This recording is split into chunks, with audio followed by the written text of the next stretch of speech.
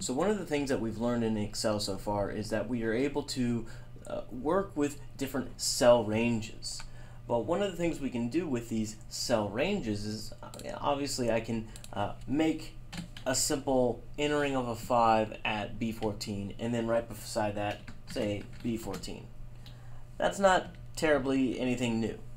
But what we're able to actually do is we're able to uh, start to order order organize things a little bit differently when we start working with multiple sheets.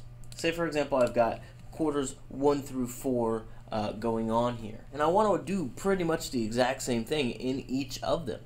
Now yes I could go through the long process of copy and pasting but if I wanted to go one step further, one step faster, what I'm able to actually do is I'm able to hold down my shift key and then press quarter 4 now what you should see happen is all of my categories, all my worksheets here have just become highlighted. And if I click on any one of these, you notice they're still technically highlighted. There's a little line right here.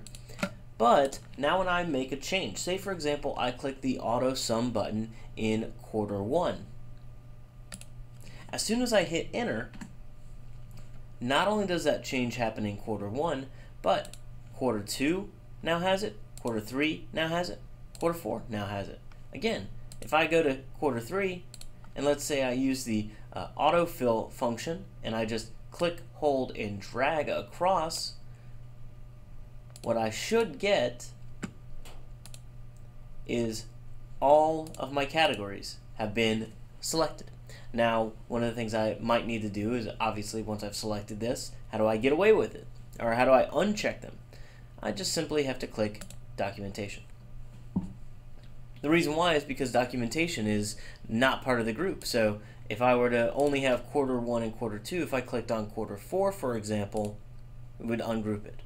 Now you might be asking yourself what happens if all of them are selected. If I click on one, that gets rid of them.